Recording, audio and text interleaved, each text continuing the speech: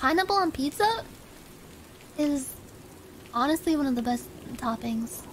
And I'm not I'm not trying to be contrarian or anything. I'm over this debate, honestly.